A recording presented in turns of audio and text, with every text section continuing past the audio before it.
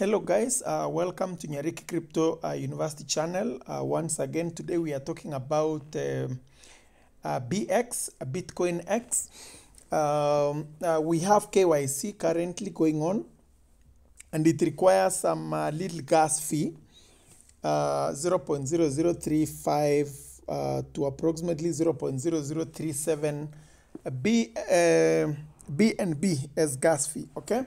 So today I want to show you step by step how you're going to buy the BNB or the USDT, convert it to BNB, and then load it to MetaMask um, on BNB chain and then complete your KYC. First of all, if you have OKX or Binance, whichever exchange uh, you're using, so for my case, I'm going to use um, uh, Binance, for example. I don't want to buy, but I just want to show you what you need to do. Um, so this is your Binance or OKX for that matter. What you're going to do, come and click on, um, uh, for most cases, you might see this option for P2P. If you don't see it, come and click on this. Come and click on uh, more. Once you click on more, you're going to see uh, where we have recommended you're going to see P2P. That's where we buy. So you click there. Once you click there, um, my network is not very good. Let me just refresh.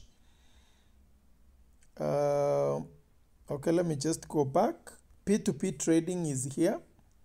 So um, once you do that, you have now to buy some USDT or BNB in this case. So if I want to buy USDT, then once I get the USDT, I have to convert it to BNB, okay? But alternatively, you can just buy BNB straight away. How do you buy BNB? Just come and click on this USDT so that it can allow you because we have other coins. Then come and select BNB. And then uh, every every seller here has uh, set their minimum amount they are uh, selling. So in most cases, you're going to realize the minimum for most people is 1,000 shillings. So you cannot buy more, uh, less than 1,000 shillings. So even if you don't need the whole 1,000 shillings, you're going to be forced to buy because that is the minimum you can buy from here, Binance. Uh, go use and then whatever remains, it can remain. Maybe you can use it one day, okay? So you're going to buy, most of the people, I think the minimum is 1,000. I don't think you're going to find someone buying less than that. In most cases, people are buying from 1,000 and above. You can check it on the trade limits. And of course, the deeper you go, the more expensive it's becoming. So um, you just come over here. First of all, make sure the person you're buying is online. How do you know the person is online? It's going to show a green indicator on this as you can see this person is online because there is a green dot inside even this one is online okay all right so you can come and click on buy. Uh, but for my case i'm not buying from this person. So i come here i write how much do i want to spend in kenyan shillings for example. When you are on um, when you are by fiat then you want to write how much you want to spend in uh, Kenyan shillings. So minimum has to be 1000 because if I put in something like 999, it's going to tell you minimum I need to buy from this person is 1000, okay? So that is going to give you 0.017 uh, BNB, okay? So when you are sure you want to buy and you have confirmed you have money in your M-Pesa, you come and uh, click on buy BNB, but I'm not doing that because I'm not buying. Once you buy, you're going to be asked to make payment. The payment details are going to display there. Uh, you can see this person payment method is already M-Pesa. So the um, uh, you are going to be asked to make payment. The M-Pesa number is going to show up. So you're going to send the money to that person in less than 15 minutes. And then you make sure once you have sent the money, there is a section where you click I have transferred, notify the seller so that the escrow is going to know that uh, you have already made the payment so that those dollars are going to be released into your account, those BNB, okay? So that's what you need to do to buy the USDT or, uh, um, or BNB.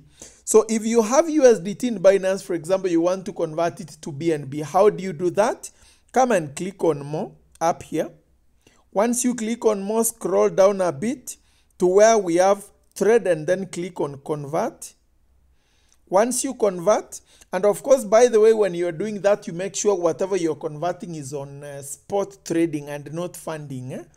spot wallet. So you just come and convert your, for example, if it was USDT, you select USDT, you want to convert it to BNB. So you come and write BNB. Okay. So, and then you come and select the amount you want to convert, and then you're going to preview the conversion, and then you're going to convert. So once you do that, you have the BNB already with you. So once you have the BNB, what is the next thing that you need to do? The next thing now is to move that BNB from whichever exchange. It can be OKX, it can be Huobi, it can be whichever, Binance. Then you move it to your MetaMask. So how do you do that? Now, this is the most important step. You open your MetaMask because that is the recommended wallet. Okay? So once you open your MetaMask, you are going to copy the address. You're going to copy the address. Okay? The address is just one for all of them. And then you go to where your funds are. You come and click on wallets at the bottom right. And then you click on uh, uh, spot, whichever uh, where the money is, either spot or funding, wherever uh, your money is, and then you click withdraw, and then you withdraw that particular that particular coin that you're withdrawing. If it was now BNB in this case, because you have already converted uh, your USDT to BNB, or if you had bought BNB, so you are withdrawing BNB, you come and write your BNB here because that's what you're withdrawing b and b okay like that. And then you are going to be asked you are sending via crypto network or email. You select via crypto network. And then you are going to be asked the address. Paste the address that you copied from the other side eh, where you are taking the money to metamask in this case and then on network you make sure very important you select the first option for bnb smart chain BEP 20 very important. BEP 20 and not any other network. You click there and then you enter the amount of uh, bnb you need to send to the other wallet okay?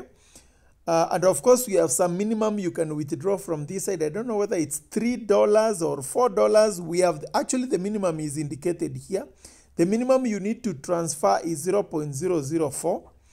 Uh, so you make sure whatever you're transferring is more than that. And then you can just go ahead once you have put in all the amount, you can withdraw, uh, do the verification, and then the funds are going to be reflecting in your MetaMask. So um, once you get to MetaMask, um, for you to see your funds, remember the network you uh, you connected. Most of the people when you come to MetaMask, you may realize uh, they are uh, connected to Ethereum main network, or for example, they are connected to a Arbitrum one. You may find, or some of them might be connected to Core blockchain. So, for you to see that gas fee that has been sent to you, or the one you transferred uh, from the Binance or any other exchange to your MetaMask, for you to see your funds, or even if, let's say, for example, you were to buy from someone, let's say, for example, you do P2P, someone has some uh, BNB, instead of going to buy, you just want to, uh, you want them to send to you. And then you make them, uh, you make payments to them. You're still going to copy the address. The address is just one, sent to them, then they are going to send the BNB. So if you are not connected to BNB Smart Chain, you will not see your gas fee because remember the person who is sending those coins to you is using the network for BNB Smart Chain. So you make sure the first thing once you get to your wallet, you're going to click on uh, that network up there and then you select the option for BNB Smart Chain. And if it's not there, you can just come over here and click add and then you're going to see uh, on popular you're going to see BNB Smart Chain and you're going to add it. So once you have switched to uh, BNB Smart Chain, uh, where is it? Here it is, BNB Smart Chain. You're going to see the BNB that was sent to you it's going to show here okay? So once now you have loaded your bnb and uh, uh, you have the nav gas fee so now how do you do the kyc this is what you do. First of all once you have the uh, required gas fee this is what you're going to do. You are going to open bitcoin bx actually let me bitcoin bx for example. What i'm going to do now look here guys you're going to you're going to tap up here. You see this uh, uh, this url at the top. This is where you're going to come and long press. And then click on copy okay?